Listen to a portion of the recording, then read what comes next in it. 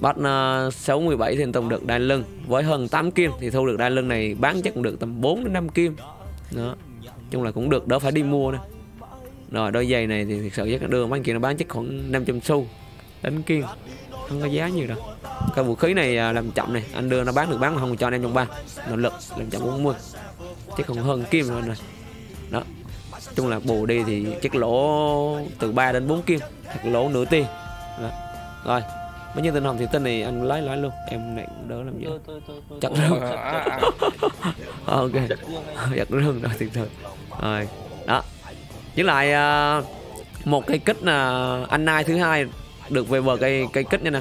Cái kích này thì sự ông đánh chắc khoảng tầm chắc khoảng 15 con hay sao về được cái bờ cây này. Quá đẹp luôn. Tóc 30 thương 25 85 phần trăm.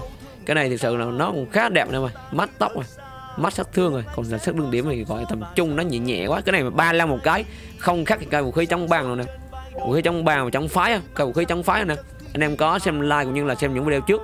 Thì vũ khí trong phái của nó là tốc 30 sát thương 35 điểm và 85 phần trăm và kèm với kháng độc 25 và độ chính xác. Đó đó là cây vũ khí chống phái.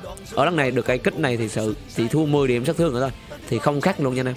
Đó và cái kích này thì nhiều anh em hỏi có hỏi cũng như là chắc chắn anh em sẽ hỏi cái vấn đề là ủa cái kích này ai xài và như thế nào mà lại có giá như vậy? Thực sự là cái kích này đỡ hón binh về cây vũ khí khác nha mọi người. Sorry anh em là những video trước khải có nói về cây vũ khí này nọ rất là đẹp này nọ viết rồi này nọ.